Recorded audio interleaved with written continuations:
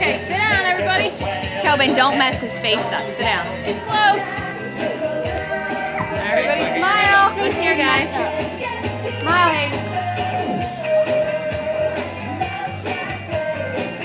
Okay. Kind of looks like your dad.